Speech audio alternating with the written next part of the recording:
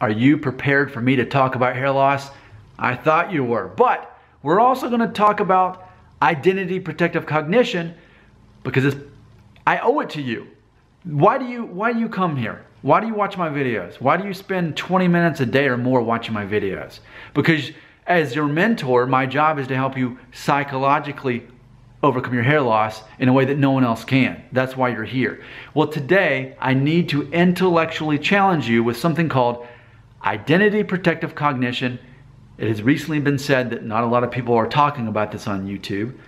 I'm one of the few people that do. I'm starting to feel like an expert on the subject. So few people know about it, and I'm happy to talk about it. So think about this, because identity protective cognition and hair loss go hand in hand. Let's let's first of all, what is identity protective cognition? It's when a person is so drenched in their own belief system, in their own bubble, anytime they hear or see anything that opposes that belief system, they get offended, hurt, defensive, and as they get that opposing information going against their belief system, they actually, their beliefs are reinforced in what they already believe. It, it doesn't matter, even if they're wrong, they're still going to believe it that much more. Which you see this all the time with Democrats who hear good Republican ideas or Republicans who hear good Democratic ideas they're closed minded, even if it's a good idea, even if their own belief is wrong, because it's the opposite of what they believe. So then it only makes them more of a Republican or more of a Democrat. That opposing person is only going to, it, it, it defeats the whole purpose, is the point. And like when people find out I'm a vegan, some people who are very emotionally unintelligent get offended when they hear that I don't eat animal products. As if I care what other people eat. I don't care. But if, if they find that out, then they get all stupid. Well, I love my bacon, my pork, and my beef. I gotta have my bacon. You know, you know what a piglet is? It's a bacon seed. I'm not entertained by that. I don't care. I'm a vegan, but it's not so much a part of me that I'll get offended if I hear otherwise. I'm like, don't care. But anyway, a lot of people have certain beliefs. I'd say even most people have certain beliefs that are so part of their identity that eh, there's no getting through. They're so closed-minded. Now we need to bring this back to hair loss because that's really what most of this video is anyway. I'm only dressing it up in emotional intelligence and identity protective cognition. Here's what I'm here to say.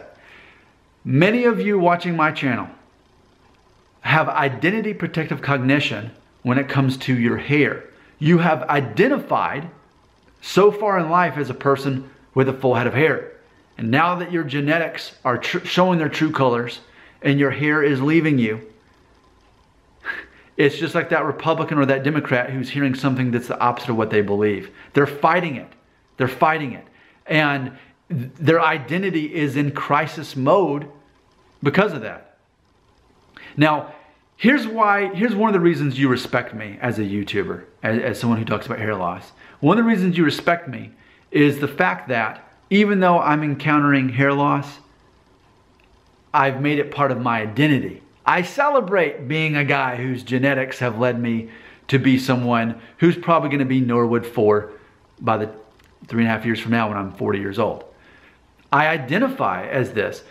I, I accept it, but at the same part, my identity, my value is not based on me having hair or not. So I don't need to have hair to be confident, to know who I am, to feel good about myself. In fact, that's why every couple years I buzz it off because I just don't need my hair to be who I am.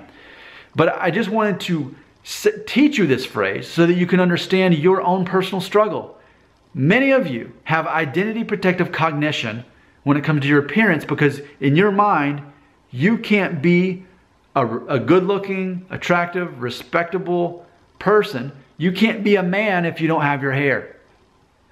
And that's identity protective cognition. So even a lot of my videos, such as this one, are challenging because I'm challenging that thought. You may hear this and think, no, Nick, you're wrong. And then you get deflective. You say, oh, you, you, you don't know, Nick, because you're 36 and a half, you're married, you have two kids, you're settled in life.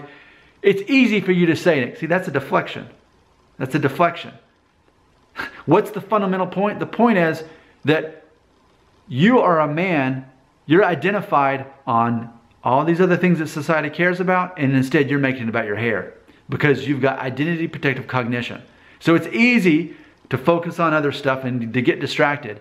When at the end of the day, even when you hear truth, it doesn't go inside this hole. See that hole? It doesn't go in there. I would, it's not even that it goes in one ear and out the other. It just doesn't go in the hole. It doesn't go in your ear. You don't accept it. You're closed minded to hearing the concept that society judges you on things that are not related to your hair by like a hundred more times more than your hair. They do. They totally do.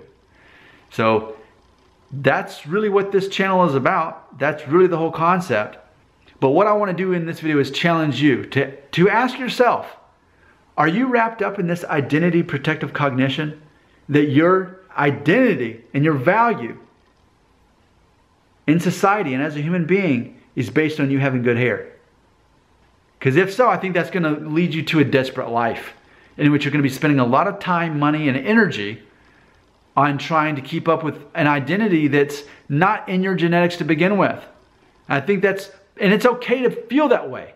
It's natural, it's necessary, but it's also necessary to get through it by accepting your new identity, like I have, and accepting it either way, with or without hair. I'm the same cool guy.